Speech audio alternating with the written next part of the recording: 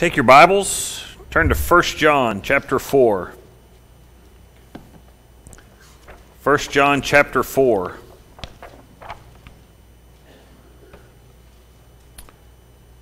We're going to read verses 7 through 21 together. 1 John 4, 7 through 21.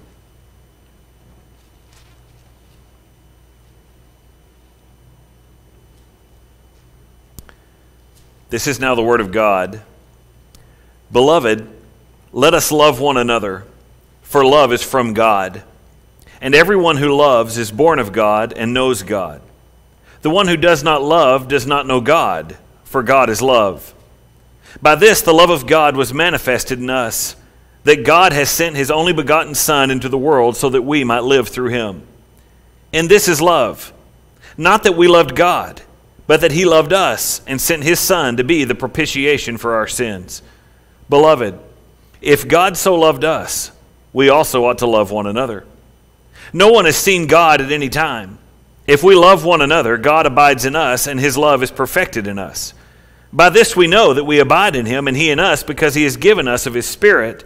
We have seen and testify that the Father has sent the Son to be the Savior of the world. Whoever confesses that Jesus is the Son of God, God abides in him and he in God. We have come to know and have believed the love which God has for us. God is love, and the one who abides in love abides in God, and God abides in him.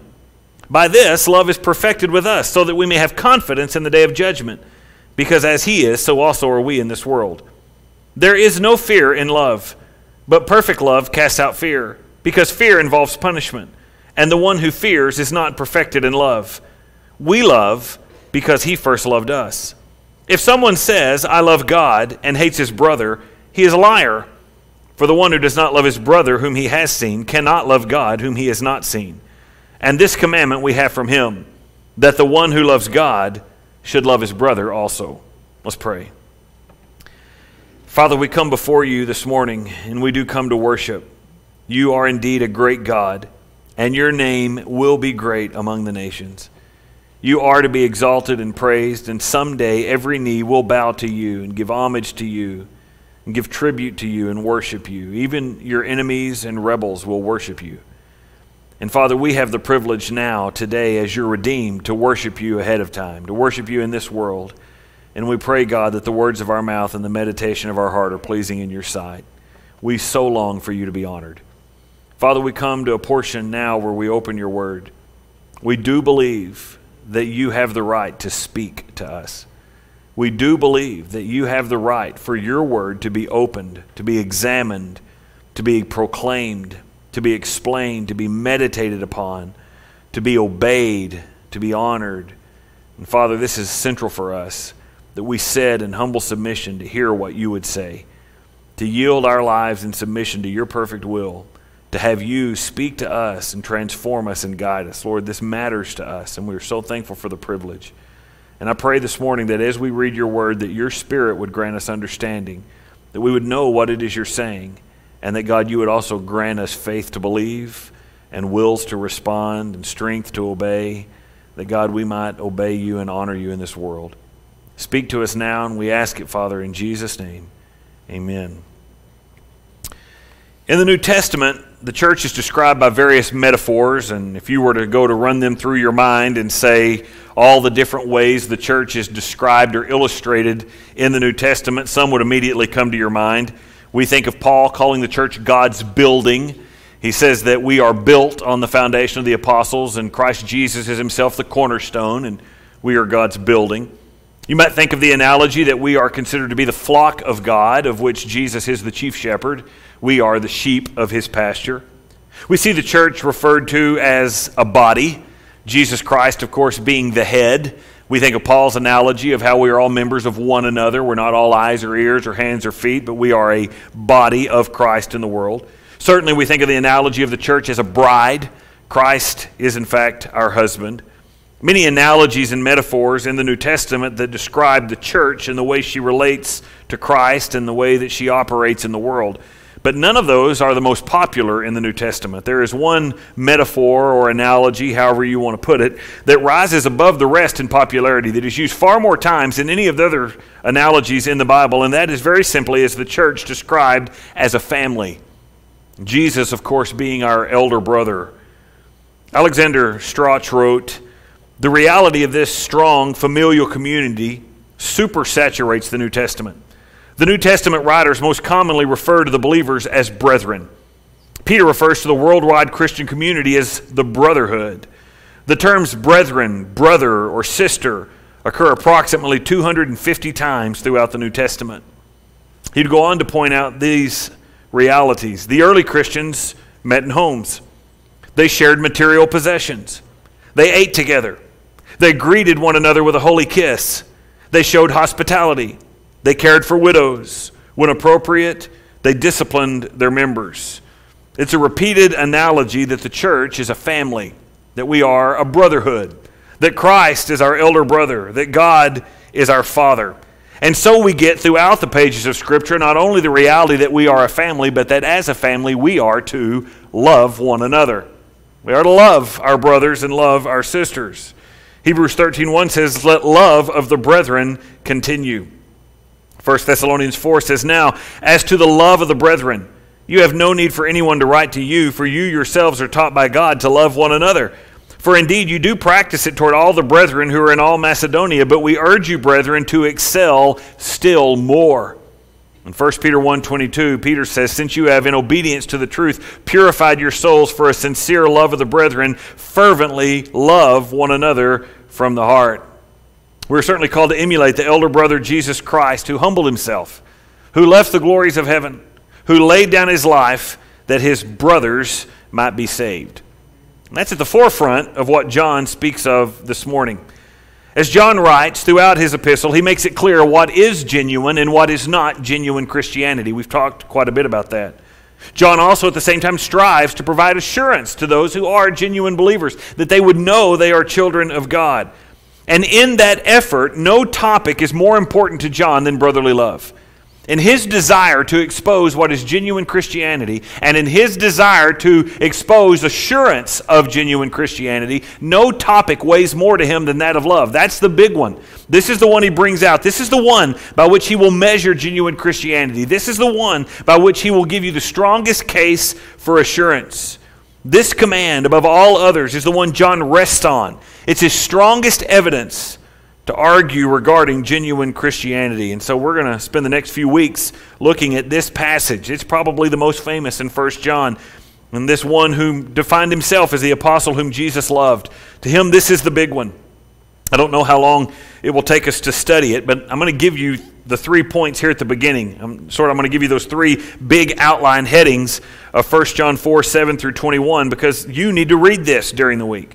And you need to study it. And you need to ponder it and meditate upon it and see if you can glean what God is bringing to you from it. Even on your bulletin, I gave you sort of a, a John outline on the front of it that you can look at. John doesn't write linear. That's what makes John difficult to understand sometimes. In, in our Western culture, everything's linear. You know, Roman numeral 1, ABC, Roman numeral 2, AB. John doesn't write like that. John's an Eastern writer. If you go to Africa, this is how Africans think. He, John's circular. They don't get to the point, they circle everything over and over and over and over and over until finally you back up and look at the circle and say, Oh, I see what you're circling. Well, clearly, John's circling love one another, but he circles it in a, in a massive amount of ways. So um, I want to give you sort of a, a breakdown first, and you study this for the next few weeks, and we'll learn about love together. But these are the three points I'm going to give you over the course of the next few weeks. One is, Atonement deserves it. That's brotherly love. You don't have to put this up yet, Chris. We're not there yet. Atonement deserves it. You're going to see verses 7 through uh, 11 here that because we've been atoned for by Christ, we deserve our, our brothers deserve to be loved by us. The second point you're going to see is that assurance depends on it. You're going to see this in verse 12. I don't remember where it stops. You're going to see it in there somewhere. Assurance depends on it. If you want assurance before God, you need to have brotherly love. And the third point you're going to see at the end is that authenticity demands it. You, you want to be an authentic Christian. Good luck being an authentic Christian without brotherly love. You're not going to be able to do it.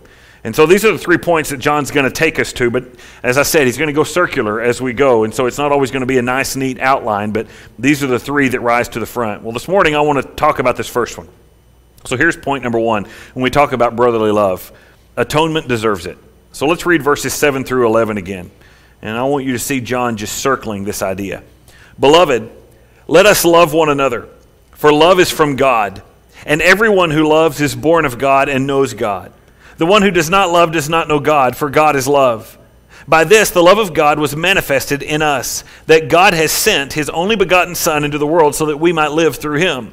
And this is love, not that we loved God, but that he loved us and sent his Son to be the propitiation for our sins. Beloved, if God so loved us, we also ought to love one another. This is a reality that John is going to talk about that brotherly love is the most fitting response to the love which Christ has shown us. If I want to put it in secular terms so that you can sort of uh, analogize a little bit in your mind, let's say that you determine you and your spouse are going to go and adopt a child. You already have some kids at home, but you're going to go adopt another one. And you go into a place and you see a child that's in pretty difficult circumstances. Maybe you're going to go to the Girls and Boys Ranch and you're going to find a child that's been pulled out of a, of a horrible home.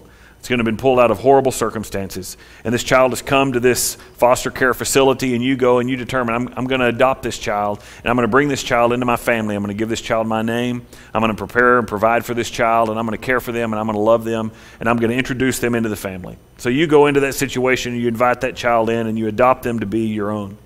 You're going to have a lot of plans and dreams and hopes for that child, no doubt, but at the top of your list, number one, is that you hope when you bring this child from the outside into your family, that they will be loved in the middle of your family, right? I mean, what do you expect and hope for from your other children, your natural children? Do you want them to always treat that kid as an outcast? Well, you're the adopted one, right? No, your main objective, I, you'll have a lot of plans and dreams and hopes for all of them, certainly, but top on your list will be that your natural children will love and accept this adopted child and that this adopted child will love and accept your natural children, and that someday you'll reach a point where they all feel equally like your children, that they all love one another as brothers and sisters without any division, without any discord, without any pecking order, and you as a parent will say, I just want you to love each other. If you had a natural sibling, your mom probably said that to you at one point or time. My sister, who was incredibly difficult to love growing up, right? Why can't you just love each other? I wish she listened. You know, she would she'd, she'd get convicted by that.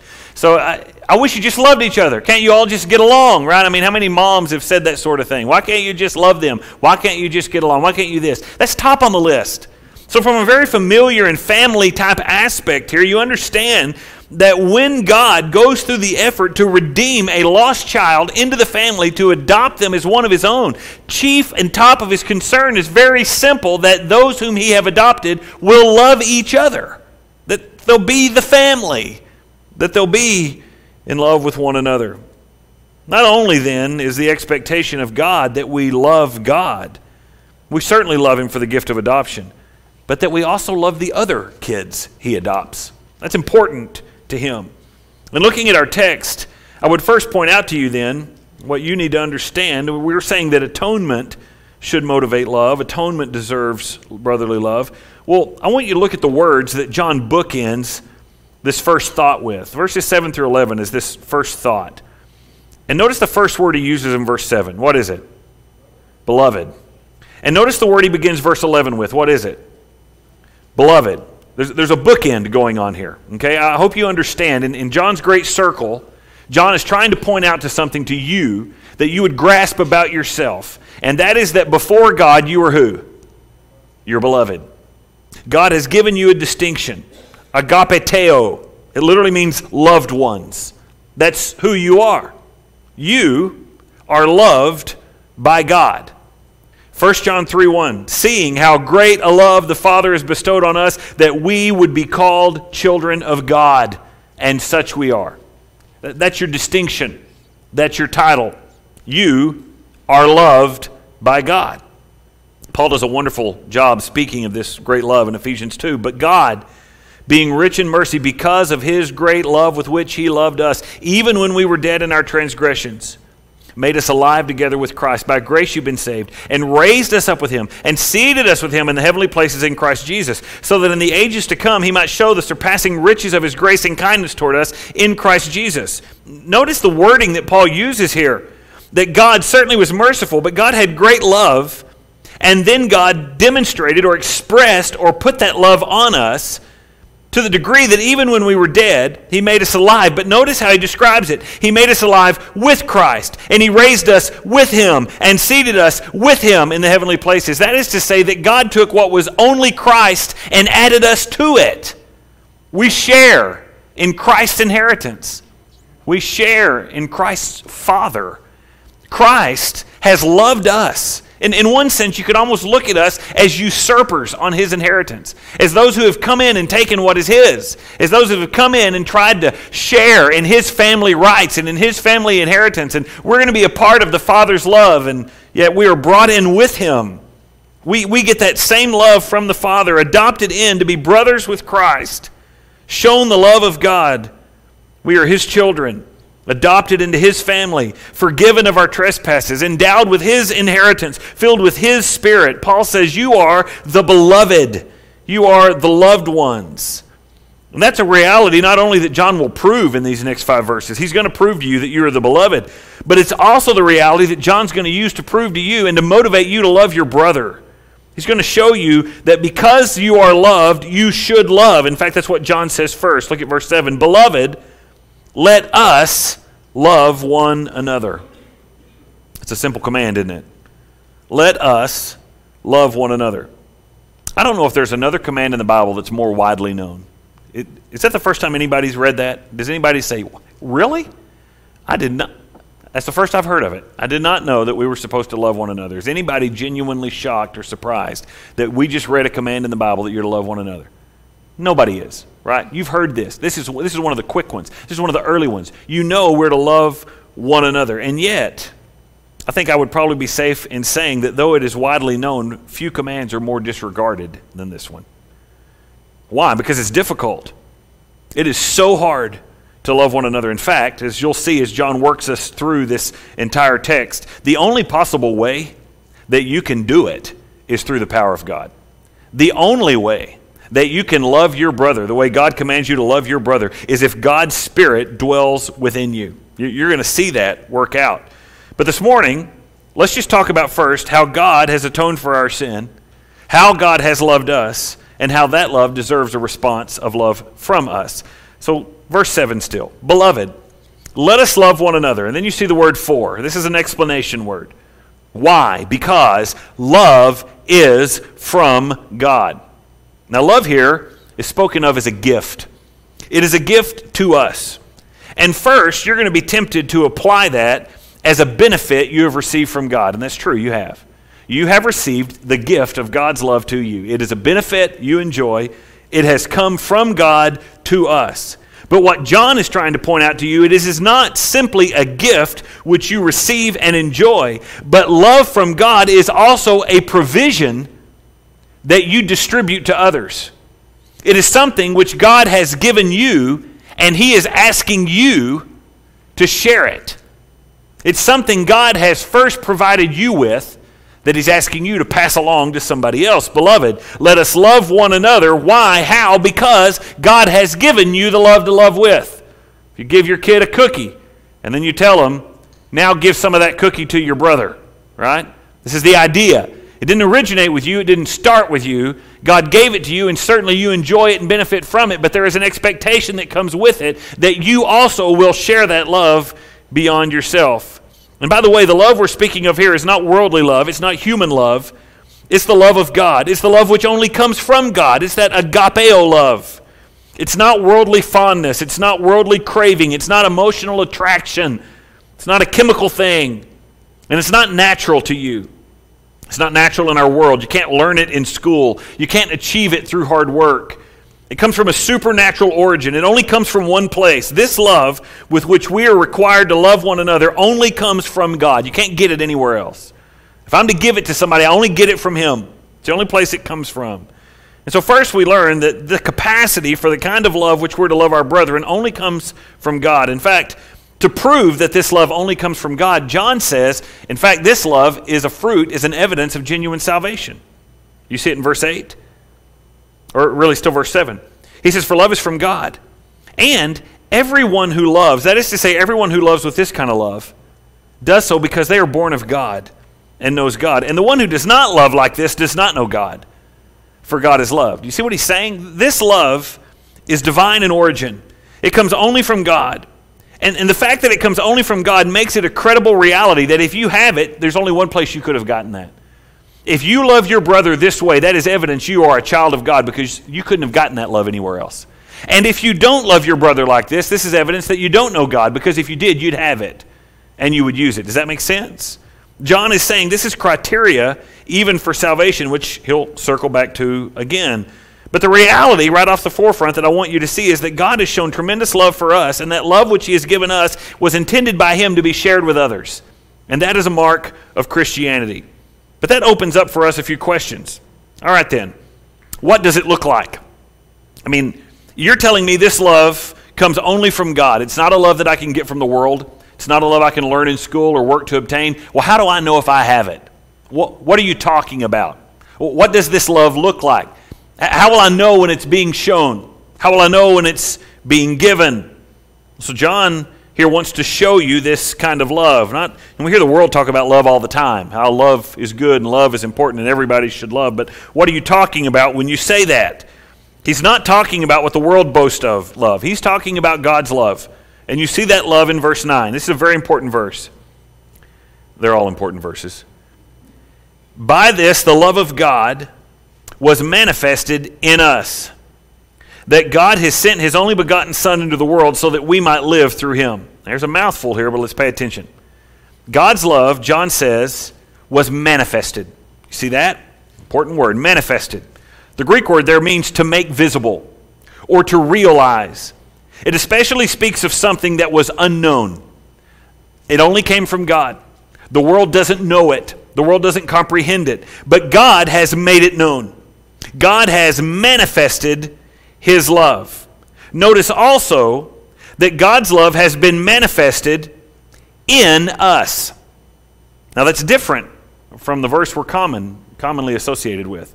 Romans 5 8, we read, But God demonstrates his own love toward us, and that while we were yet sinners, Christ died for us. We're familiar with that verse. That God put on display his love so that we could see it. How did he do that? With the cross, right? The cross was a demonstration of God's love pointed toward you so that you might see it, so that you might rationalize and comprehend what is the love of God. It's a demonstration for you to see. That's not what John speaks of. He speaks of something different. John says God's love has been manifested in us. It's not just demonstrated to us, but he speaks of love being made visible inside of us. Now, I certainly never want to take my eyes off of the cross, but John says that I can now realize God's love through something that he has done in my life. Now, on one hand, I say, How do you know God loves me? And we say, Well, the cross demonstrates God loves me. We know that. We, we know the story. But we also now say with John that God has also manifested his love within us. He's done something in us to show his love for us. What is that? Look at it, verse 9. Well, by this the love of God was manifested in us. You say, by what? That God has sent his only begotten Son into the world so that we might live through him. Now, when you read that verse and you ask the question, what is it that God has done in me that shows his love for me? What has he done?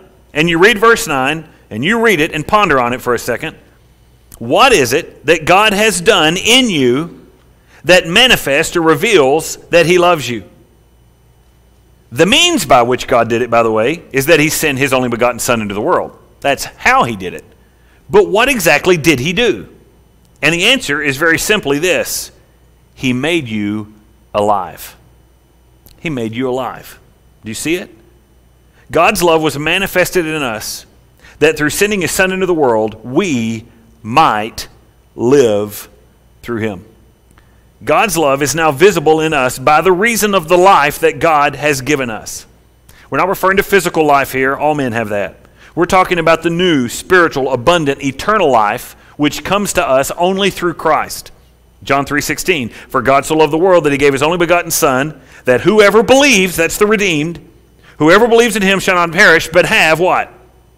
Eternal life. Life that lasts for eternity. That's what you get. John 4:10. Jesus answered and said to her, "If you knew the gift of God and who it is who says to you, give me a drink, you would have asked him and he would have given you living water." John 6 35, Jesus said to them, I am the bread of life. He who comes to me will not hunger. He who believes in me will never thirst. John 8 12, Jesus again spoke to them, saying, I am the light of the world. He who follows me will not walk in the darkness, but will have the light of life. John 10 10, the thief comes only to steal and kill and destroy. I came that they may have life and have gobs of it, have it abundantly. We read a moment ago in Ephesians 2, verse 4. But God, being rich in mercy because of his great love with which he loved us, even when we were dead in our transgressions, made us alive together with Christ. By grace, you've been saved. When Jesus came to this earth, it was not primarily to be just a model of good behavior. He didn't come to improve living standards, He didn't come to educate the ignorant or to bring political reform or social justice. Jesus, at its forefront, came to make dead men alive. That's what he did. To raise the dead to life. You say, what do you mean, dead men? Ephesians 2. And you were dead. Dead how? You were dead in your trespasses and sins. We're talking about spiritual death here. In which you formerly walked according to the course of this world, according to the prince of the power of the air of the Spirit that is now working in the sons of disobedience. You were dead in the sin that you lived in. Among them, we too all formerly lived in the lust of our flesh, indulging the desires of the flesh and of the mind, and were by nature children of wrath, even as the rest. What is this death we speak of? Well, people are spiritually dead. They follow the worldly pattern of Satan. That's what they do. They, they do what Satan does. He's the leader. They follow his objective. They follow his rationale. They follow his mindset. They follow his logic. They follow his deeds. They you know, commit lust of the flesh. They indulge in them. They do what makes the flesh feel good. That's because they're spiritually dead. And they're children of wrath. Uh, they're doomed to destruction. Uh, that's what it means to be spiritually dead. It indicates no love for God, no understanding of the things of God, no desire for the things of God. There, there is no spiritual life within them. They just live purely and totally in the flesh. As Titus put it, their God, their God is their stomach. If it feels good, they want to do it. If it tastes good, they want to eat it. They, they just live this entire life not for God or the glory of God or the satisfaction of God or the joy of God. They live this entire life for what makes the flesh feel good. They, they really don't think beyond that. I, I want a comfortable flesh, a happy flesh, a gratified flesh, a feel good flesh. I want everything in my surroundings to do that which makes my flesh happy. That's it. That's spiritually dead. There is no spiritual awakening. There is no spiritual life. There is no thought given to spiritual things and to the joy and the satisfaction of God. They're dead. And Christ came into this world to take those who were dead like that and make them alive. It occurs through him. Now, we've repeatedly said that God's love is a redeeming love and that God's love is a transforming love. We know that. Here you find out God's love is a resurrecting love. It is not empty infatuation, it's certainly not apathetic approval. I just want you to be happy. It is not an enablement of sinful desires. That's not what God did. It's not what Christ did. Christ came and approached us in our sin and made us alive that we might be different, that we might be new. God did this for those whom He saved. He sent His Son to raise us from the dead. Colossians 1:13 says for he rescued us from the domain of darkness and transferred us to the kingdom of his beloved son. That's the love of God. Romans 6:12. Therefore do not let sin reign in your mortal body so that you obey its lust and do not go on presenting the members of your body to sin as instruments of unrighteousness, but present yourselves to God as those alive from the dead and your members as instruments of righteousness to God. Uh, I, I want to illustrate this a little more distinctly. Turn over to the book of Col- or Ephesians chapter 4. Turn over to Ephesians chapter 4. What, what you're going to get here is a very graphic distinction between the difference of those who are dead and those who are alive. Paul, in effect, is going to set a spiritually dead man next to a spiritually alive man, and he's going to let you see the contrast. He's going to let you see the difference. Hopefully, this will help you see that. Ephesians 4, verse 17. This is a lengthy passage. We're, we're not going to dwell on it long, but I just want you to get the analogy and the contrast the obvious difference here. Ephesians 4:17. So this I say and affirm together with the Lord that you, that would be believers, walk no longer just as the Gentiles also walk in the futility of their mind. So we're talking about the redeemed versus the world. Regarding the world, he says they are darkened in their understanding, excluded from the life of God because of the ignorance that is in them, because of the hardness of their heart, and they, having become callous, have given themselves over to sensuality, that is, whatever feels good, for the practice of every kind of impurity with greediness. That is, there is no limit to the amount of sinful debauchery they will participate in. There is no limit extreme that is too far gone that they won't do it if it feels good. They've given themselves over to it and they've done it greedily. They want more. That's the world. They just run after sin faster and faster and faster. Then you get the redeemed. Paul says in verse 20, But you did not learn Christ in this way. If indeed you have heard of him and have been taught in him, just as truth is in Jesus. If you're a Christian, you didn't, you're not like this, Paul says. Verse 22. That in reference to your former manner of life, you lay aside the old self, which is being corrupted in accordance with the lust of deceits. And you be renewed in the spirit of your mind and put on the new self which in the likeness of God has been created in righteousness and holiness of the truth. Whereas they are sensuality and debauchery and impurity, you are righteousness and holiness and truth. It's an obvious distinction. To which Paul then says in verse 25, Therefore, laying aside falsehood, speak truth, each one of you with his neighbor, for we're members of one another. Be angry and yet do not sin. Do not let the sun go down in your anger. Do not give the devil an opportunity. He who steals must steal no longer, but rather must labor, performing with his own hands what is good, so that we'll have something to share with one who is in need. Let no unwholesome word proceed from your mouth, but only such a word as is good for edification, according to the need of the moment, so that it will give grace to those who hear. Do you see the difference? One lies, one speaks truth, one is filled with anger, one is not. One steals, one labors, one is, you know, filthy mouth, the other one doesn't let unwholesome words come out of their mouth. I mean, it's just an obvious distinction. Paul says in verse 31 Let all bitterness and wrath and anger and clamor and slander be put away from you, along with all malice. Be kind to one another, tenderhearted, forgiving each other, just as God in Christ also has forgiven you. Chapter 5 Be imitators of God as beloved children. Walk in love, just as Christ also loved you and gave himself up for us, an, an offering and a sacrifice to God as a fragrant aroma. But immorality, or any impurity or greed must not even be named among you as is proper among saints. And there must be no filthiness and silly talk or coarse jesting, which are not fitting, but rather giving of thanks. For this you know with certainty that no immoral or impure person or covetous man who is an idolater has an inheritance in the kingdom of Christ and God. You see the distinction again. Those aren't saved people, Paul says. They're dead spiritually. Verse 6 Let no one deceive you with empty words, for because of these things the wrath of God comes upon the sons of disobedience. They're called sons of disobedience. Therefore, he says, Do not be partakers with them. You were formerly darkness, but now you are light in the Lord. Walk as children of light. For the fruit of the light consists in all goodness and righteousness of truth, trying to learn what is pleasing to the Lord. Do you get the distinctions? I mean, they're obvious. You have one who is spiritually dead, who just loves sin and what feels good, and his mouth is filthy, and he's greedy, and he steals, and he lies, and he loses his temper, and he doesn't care about the things of God. Uh, that's the unredeemed. That's spiritually dead. And then you have the one who walks in love and truth and forgiveness and mercy and controls his tongue and doesn't steal and doesn't lie and controls his temper. I mean, it's a totally different distinction. You understand the difference then between spiritual life and spiritual death. And the question I have for you is why are you no longer like them? Why don't you fly off at the mouth? And why aren't you greedy? And why don't you steal? And why don't you lie? And why don't you do all those things? Why don't you gratify the flesh every moment of the day? Why do you not do that? Because God has loved you. Because in love, God did a work in you. God made you alive when you were dead. When you were wallowing in the filth, God reached in and pulled you out.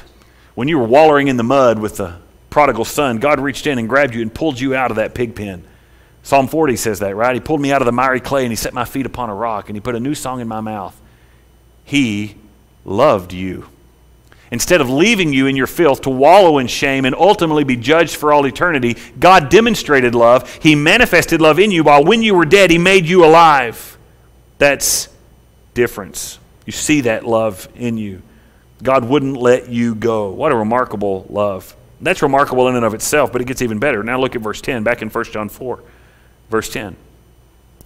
In this is love, John says.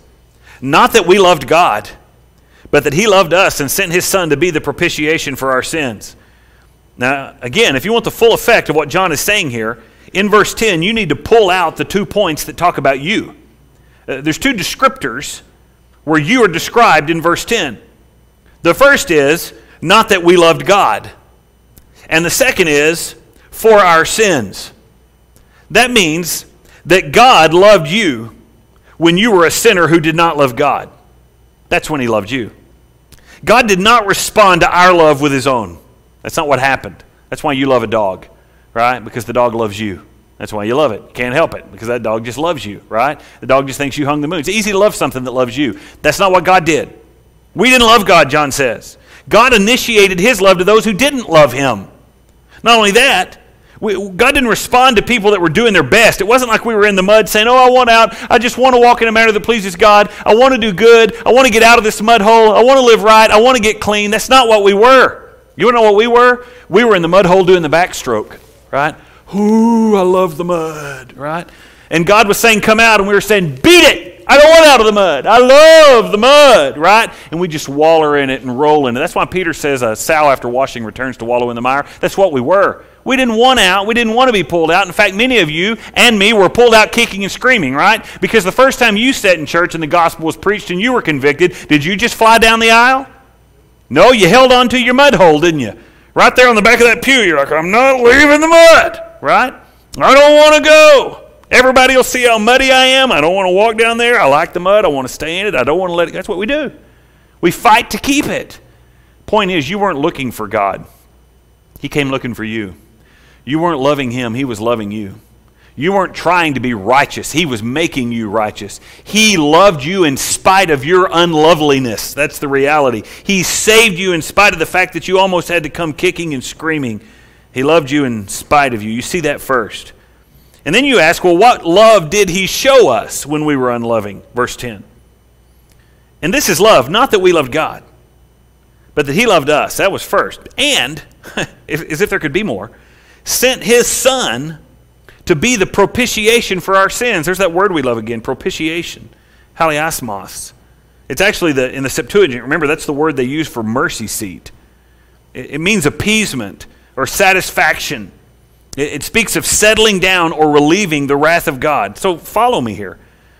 God looks upon this world and he sees rebellious sinners who deserve his wrath and judgment. And everything in his holiness would rise up to crush them. I mean, whenever I was, I don't know, I was in high school and my grandparents had septic tank problems. And everybody relishes those types of moments. And so we pull the lid off of the top of the septic tank. And my grandpa, you would just have to know him. He just always had to do a little more than needed to be done. And I mean, we tore up more fence posts and more equipment because he was going to try one more thing, you know. And I don't remember exactly what led him right to the edge of the septic tank, but he's right to the edge and he's trying to do something, and all of a sudden, you know, he loses his balance. And I know the anticipation's killing you, right?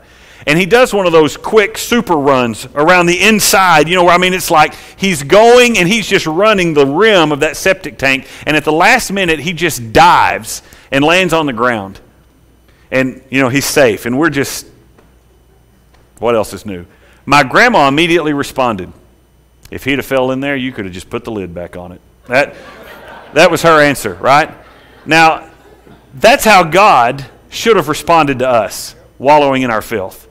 Just put the lid on it, right? Just let it go. I mean, no more of this. They are nasty, sinful, rebellious.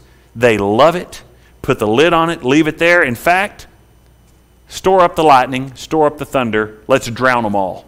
Or Better yet, let's open up the ground and swallow them whole. Oh, I know. Let's send fire from heaven and incinerate them. And you say, where would you come up with crazy ideas like that? Well, from the Old Testament, because God did that to sinners. God did that in the days of Noah. God did that in the days of Moses whenever he opened up the ground and ate up Korah and all of his rebels. He did it in Sodom and Gomorrah when he sent fire upon the earth. And I gave you a list of some of the most terrible expressions of God's wrath in the Bible. But those aren't the worst. You know what one belongs on the top of that list? The cross. No time in history did God pour out more wrath with more fury than on the cross. It is the pinnacle demonstration and display of the fury and wrath of God. It is more furious than the flood. It is more furious than the ground swallowing Korah alive. It is more furious than burning those at Sodom and Gomorrah. It is the massive outpouring of God's wrath because on the cross, Christ demonstrated and propitiated all of the wrath of God on all of the sin of all the elect for all time. In the days of Noah, God killed many people, but just those who were alive at the time. In the days of Moses, he killed Korah and Abiatham and those men that were against Moses, but it was just them and their families. And Sodom and Gomorrah, it was a horrible judgment, but it was just those who lived in Sodom and Gomorrah. But this, this was all the sin committed by all the elect for all time. And it was all poured out upon Christ. Isaiah 53 4 says, Surely our griefs he himself bore, and our sorrows he carried. Yet we ourselves esteemed him stricken, smitten of God, and afflicted. He was pierced through for our transgressions. He was crushed for our iniquities. The chastening for our well being fell upon him, and by his scourging we are healed. All of us, like sheep, have gone astray. Each of us has turned to his own way. But the Lord has caused the iniquity of us all to fall on him. And you say, So, what happened? Isaiah 53:10 is what happened. But the Lord was pleased to crush him, putting him to grief. If he would render himself as a guilt offering, he will see his offspring, he will prolong his days, and the good pleasure of the Lord will prosper in his hand. Do you know what happened? When God saw Christ identified with sinners hanging upon the cross, God did not reluctantly crush Christ. God did not reluctantly pour wrath upon him. God's holiness was gladly satisfied. He was pleased, Isaiah says, to crush him. God poured full fury on Christ. Why? Because he's satisfying God's wrath. All the sin for all the redeemed for all time is poured on Christ. And John says, This is God's love for you revealed. That when you were sinful and you didn't love God and you wanted in your sin, and God would rear back with a mighty ball of wrath to throw it in your favor, He first took Christ and put Him between you and His wrath and afflicted Christ. It's that analogy of somebody getting whipped at a post and somebody else comes in and covers them and takes the whipping. This is what happened. God sent his son to bear our judgment. That's remarkable. I mean, it would be remarkable if we deserved it.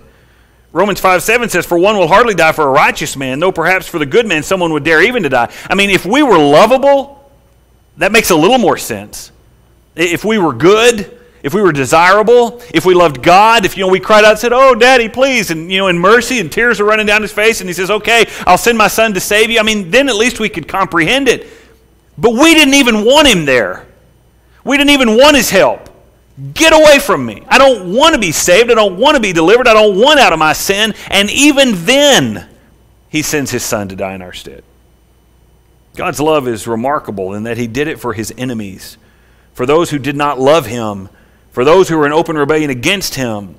God sent his son to take the punishment for sinners, and through his son to raise those enemies from the dead and give spiritual life to those rebels. We marvel at this. We use words for God's love like undeserved. Surely that's true. We did nothing to earn it. We use words like unrestrained, that God gave even his own son for us. We use words like unprovoked. Our love didn't motivate him. We didn't beg for it. God did it because he intended to do it.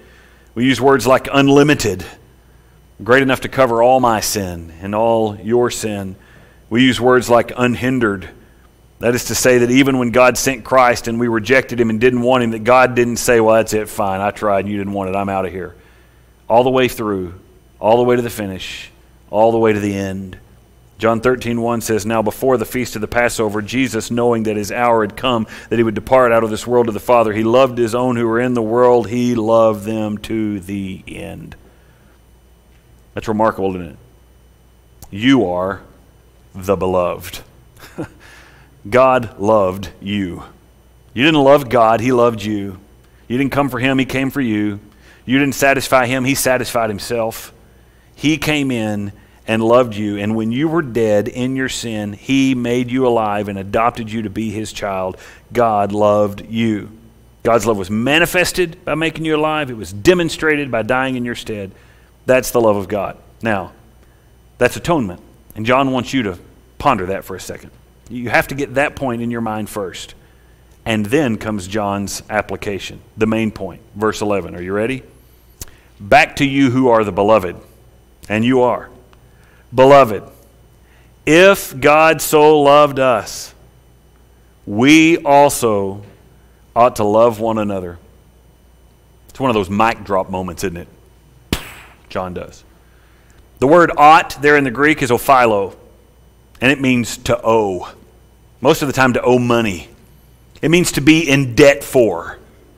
Romans 13, 8, owe nothing to anyone except to love one another, for he who loves his neighbor has fulfilled the law. In other words, John says, because God loved us, you have a debt. You have something you owe, something that you must pay, and that is to love one another. I want you to turn to another passage. Turn to Matthew chapter 18. This passage is not about love, it's about forgiveness, but the argument and the point which John is making is identical. Matthew 18, verse 21. You'll know the story. Matthew 18, verse 21. Then Peter came and said to him, Lord, how often shall my brother sin against me and I forgive him? Up to seven times. Now, first off, before we bash Peter, as we like to do, I want you to think about somebody who wrongs you the same way six times. I mean, somebody that, I don't know, let's say they go out this afternoon after church and take their key and run it across the hood of your car and say, Please forgive me. I don't know what I was thinking. I had a bad day. You know, preacher went too long. I was mad, right? I just couldn't help it. I keyed your car. Would you forgive me? And you say, Hey, it's all right. It happened to anybody. Next Sunday, they walk out, key your hood again. You're like, Well, hey, whoa. Please forgive me, right? I don't know what's up with me. I don't know what's wrong with me. I just, you know, you forgive me. Yeah, I'll forgive you. Day three. One more time, right? I tripped. I didn't do it intentionally. Sorry. Would you please forgive me? You've done that six times. How many of you are still forgiven on six? So when Peter says up to seven times, Peter thinks he's being generous. And from a man to man standpoint, he's being incredibly generous. You forgive somebody for something seven times, you have been incredibly generous. And Peter's feeling pretty good about himself. Lord, how many times should I forgive my brother? I think I've got seven in me. I think I can do it seven times. Jesus responded in verse 22, said to him, I did not say to you up to seven times. I don't know where you got seven from, Peter. You didn't get that from me. But since we're on the subject, I say up to 70 times seven. If you just did the math, you missed the point. What? 400, after 489 times, you don't even have any paint left on your hood to scratch, right? I mean, this is, this is ridiculous. You say, my brother doesn't deserve to be forgiven 490 times. Really, infinitely is what Jesus is saying. My brother doesn't deserve that. That's what he's saying. Well, here comes your story. For this reason, the kingdom of heaven may be compared to a king who wished to settle accounts with his slaves. When he had begun to settle them, one who owed him 10,000 talents was brought to him. But since he did not have the means to repay, his Lord commanded him to be sold along with his wife and children, all that he had, and repayment to be made. So the slave fell to the ground and prostrated himself before him, saying, Have patience with me, and I will repay you everything. And the Lord of that slave felt compassion and released him and forgave him the debt. Stop there for a second. This guy somehow racked up a debt of 10,000 talents to the king. When I say 10,000 talents, do not think $10,000. That is not the debt here. A talent, one talent, is more than 15 years' wages. One talent is more than 15 years' wages. If you do the math, this guy owed 150,000 years' wages. I don't know what you make in a year, but 150,000 years' wages. That means, in order for this man to fulfill his promise, because this man came and said, Have mercy with me, Lord, and I will repay you everything. Just so that we're clear, it would take him more than 3,000 lifetimes to honor that promise. I'll pay you off in 3,000 lifetimes. It's not going to happen. You get the point? He can't do it. But the king is merciful. He felt compassion, released him, forgave him. You obviously know the story. That's God in the infinite way in which we have offended him. If you think for one second you can earn your salvation by your works or through your penance, you've got another thing coming. There has never been a more blasphemous lie created than that of purgatory, that you can go to purgatory and do penance for an undisclosed period of time until you have satisfied God's wrath, and then you can finally go into heaven. You ain't got enough time. Eternity doesn't hold enough time. You're never going to pay it off. That's the point. You're never going to pay it off. That's why hell is eternal. Okay? It's never going to be satisfied. But this king forgave an eternal debt 3,000 lifetimes worth of labor. And then we move on. Verse 28. But that slave went out and found one of his fellow slaves who owed him a hundred denarii. and seized him and began to choke him, saying, Pay back what you owe. So this fellow slave fell to the ground and began to plead with him, saying, Have patience with me, and I will repay you.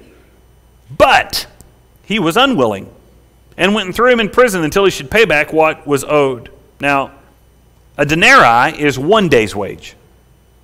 So this guy owes a 100 days' wages, roughly four months worth of wages. Now, I'm not going to say that's totally insignificant. I don't know what you make in a month. But if you multiply that times four and you loan that much money to somebody and they don't pay you back, I'm not saying that's nothing. It's not nothing. It's a significant wrong. It's keyed your hood six times. It, it, it's a real deal. And, and in this world, it's, it's, a, it's a massive amount. But is it unrepayable? I mean, when this guy says, I'll pay you back, there's legitimate reason to believe at least he can, right? I mean, it's not beyond the scope of human ability to pay off a four month debt. That, that, that's not impossible. But this guy won't have compassion. He says, Forget it. And he throws him in prison. Verse 31 So when his fellow slaves saw what had happened, they were deeply grieved and came and reported to the Lord all that had happened. Then summoning his Lord said to him, You wicked slave, I forgave you all that debt because you pleaded with me. Should you not also have had mercy on your fellow slave in the same way that I had mercy on you? And in case you don't know the answer, the answer is yes. You should have. And his Lord, moved with anger, handed him over to the torturers until he should repay all that was owed him.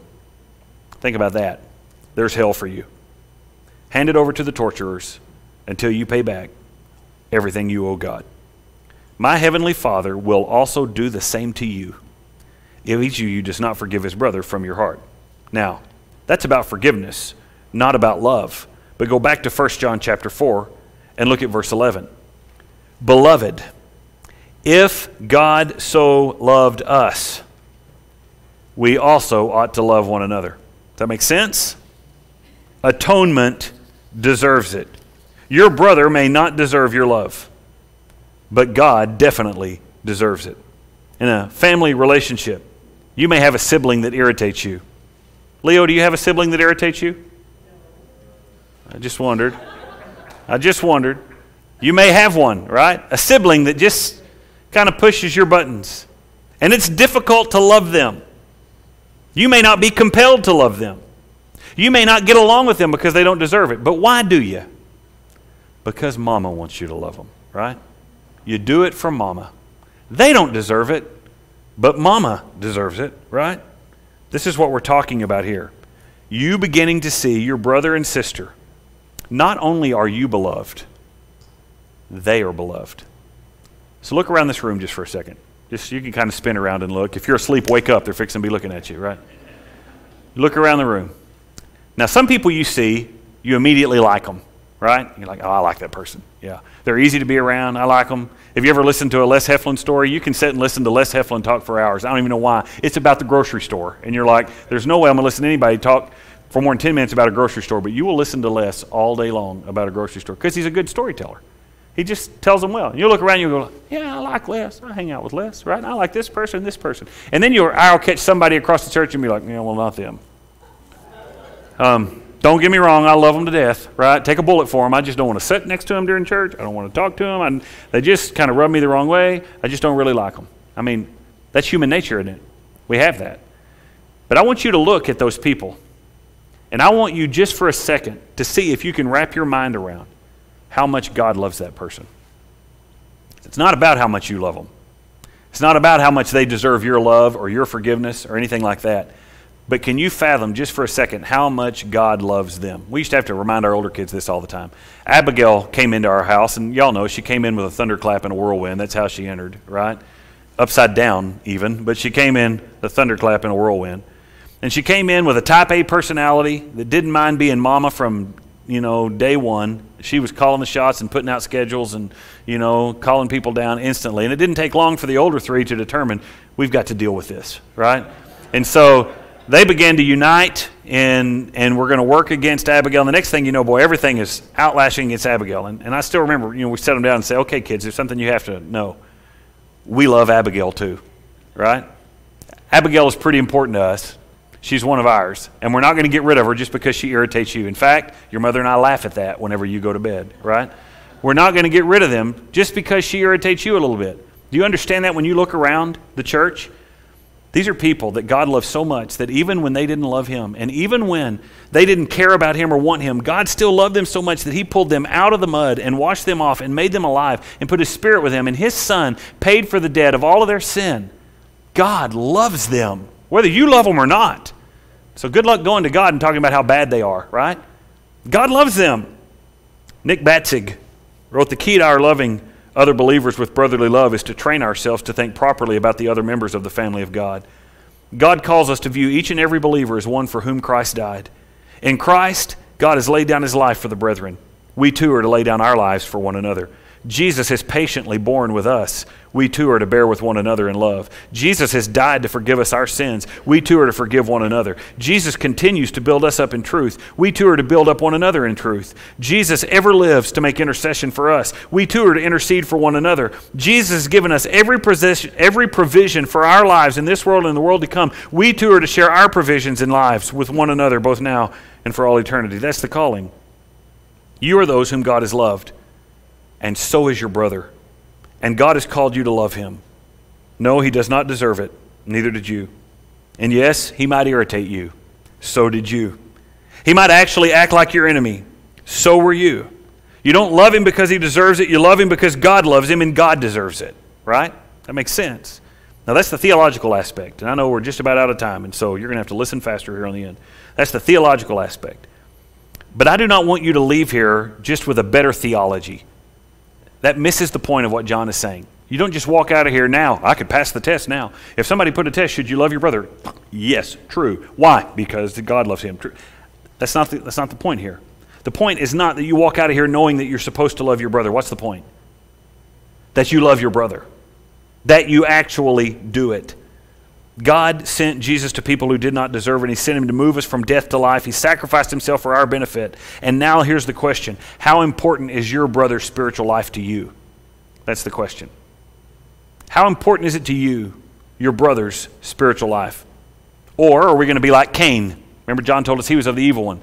And when God came to Cain and said, Where's your brother Abel? What was Cain's response? You remember? Am I my brother's keeper? Jesus came in and answered with a resounding yes. I am. I am my brother's keeper. I realize my brother is a wayward, wayward, sinful, nasty soul wallowing in the mud pit, but I am here to love my brother. I am here to love those whom God loves. And Christ came to this filthy, sin infested planet. And he walked in our filth and he walked in our shame and he saved us out of the muck and the mire and he took our punishment and he put his life within us so that we might live in a manner that pleases the Father. And the question is, am I willing to do the same? How important is the spiritual life of my brother to me? How much would I sacrifice for my brother to walk in fellowship with God?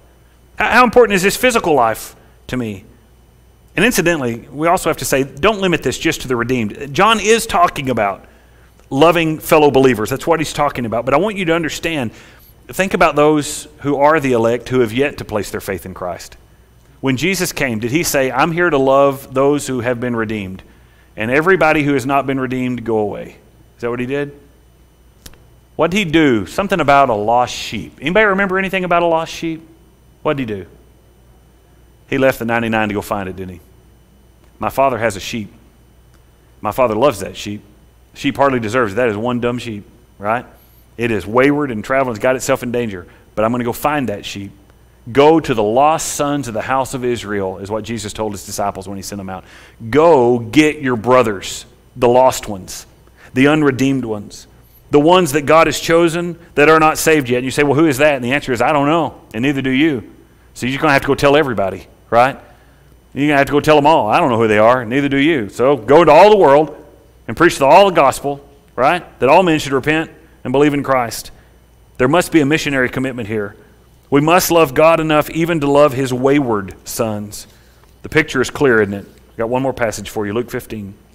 Now his older son was in the field, and when he came and approached the house, he heard music and dancing, and he summoned one of the servants and began inquiring what these things could be. And he said to him, Your brother has come, and your father has killed the fattened calf because he's received him back safe and sound. But he became angry and was not willing to go in, and his father came out and began pleading with him. But he answered and said to his father, Look, For so many years I've been serving you, and I've never neglected a command of yours, and yet you've never given me a young goat so that I might celebrate with my friends. But when this son of yours came, who has devoured your wealth with prostitutes, you killed the fattened calf for him. And he said to him, Son, you have always been with me, and all that is mine is yours. But we had to celebrate and rejoice, for this brother of yours was dead and has begun to live, and was lost and has been found. You see it there? That father loves that son, doesn't he? Does the brother love him? No. And he's not asking him to love him because he's lovable. He's not asking to love him because he did right or did good. He says, I love him, and I want you to love him because I love him. Will you rejoice for the Father? Will you celebrate for the Father? Will you help your brother for the Father? Will you invest in his life for your Father? Will you get down in the ditch? Will you help him financially? Will you intercede for him? Will you bear his burden? Will you listen to him and help him? Will you confront him and teach him? Will you build him up and train him? Will you love your brother for the Father? John's going to tell you those who do, reveal that they know the Father, because that's exactly what he does. And those who don't, reveal that they don't know God. Beloved, let us love one another, for love is from God, and everyone who loves is born of God and knows God. The one who does not love does not know God, for God is love. We cannot be people who are unconcerned about those whom the Father loves. We have to be people who are consumed with those whom the Father loves.